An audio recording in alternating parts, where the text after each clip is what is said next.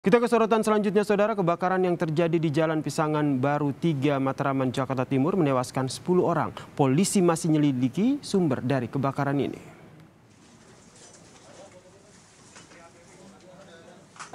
Penyelidikan dilakukan terhadap kebakaran empat rumah kontrakan di Jalan Pisangan Baru 3 Matraman, Jakarta Timur pada Kamis pagi tadi yang menewaskan 10 orang penghuninya.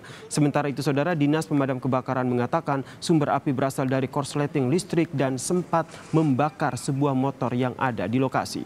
Seorang saksi mata membenarkan bahwa ada sepeda motor yang terbakar sebelum api menyambar ke empat rumah kontrakan di kawasan tersebut.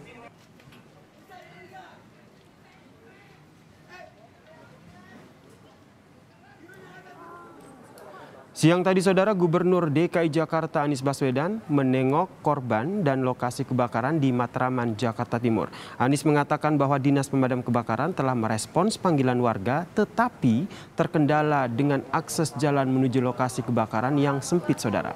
Saat ini menurutnya Pemda DKI Jakarta telah menyiapkan lokasi penampungan untuk warga yang rumahnya terbakar.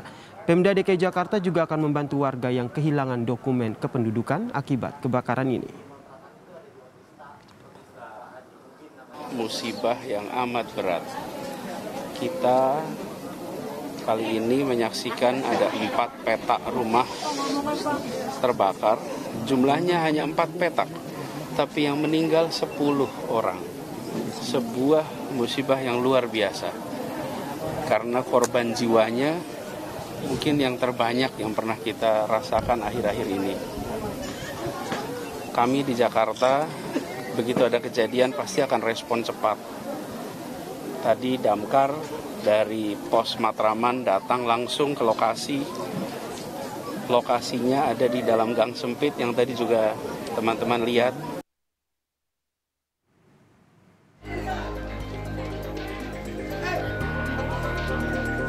Kebakaran menghanguskan empat rumah kontrakan di kawasan padat penduduk wilayah Matraman, Jakarta Timur pada Kamis dini hari tadi. Tim pemadam kebakaran diterjunkan, namun akses jalan yang sulit membuat proses pemadaman api memakan waktu hingga satu jam. Api pertama kali terlihat dari sepeda motor yang diduga mengalami korsleting listrik. Dengan cepat api membesar dan menghanguskan seluruh rumah. Terima terakhir bahwa ada motor yang kebakar di situ di luar ya motor di depan eh, terbakar sehingga menyebabkan menyambar ke atas plafon dari rumah. Nah, dari situ kemudian menyebar, api menyebar ke seluruh uh, kontrakan tersebut. Kebakaran mengakibatkan 10 orang meninggal dunia. Kesepuluh korban diduga sulit menyelamatkan diri karena akses jalan keluar yang terbatas.